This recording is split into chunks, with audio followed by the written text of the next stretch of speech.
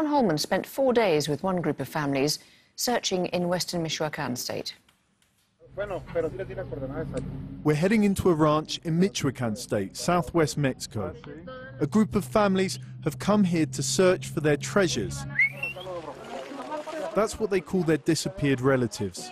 Captured criminals have told police that they buried bodies here, including the son of Maria de Lourdes Romero, Abel. Now she's come to find him.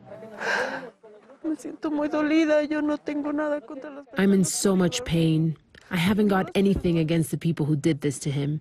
May God forgive them and have mercy on them. Ask her how long since her son disappeared. A year and three months. And it's the first time you've been able to come here and look for him? Always when I go up onto my roof, I say to myself, Son, I know where you are, but I can't come and get you. It's so sad to know that there's nothing I can do. She hasn't been able to look till now because it hasn't been safe. The criminal groups who bury bodies, here and elsewhere, don't want them found. But this time, authorities are with the families. It's the first large-scale search for the disappeared ever in Michoacan state. There are around 80,000 disappeared in the country in total, as if a full football stadium had suddenly vanished. As elsewhere in Mexico, their relatives search with rudimentary tools, a metal rod screwed into the ground, then sniff for the smell of decaying flesh. Although the security forces are here, the relatives take the lead.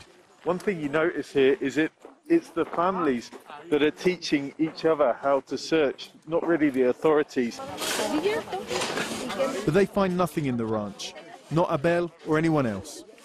We joined them across four days, looking in former cartel safe houses, swampland, and finally down this well.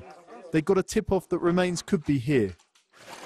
Ruth Gumasindo was at the top, sifting through the mud. She's been looking for her son, Marco Antonio, for years.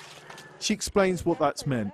Desde el momento que nos los arrebataron, se nos terminó la paz. The moment that they took them away, our peace was finished. We're not complete after that. Incompletas. That's how we left her and the others, still searching in the mud for a small fragment of their relatives, to try and complete themselves again. John Holman,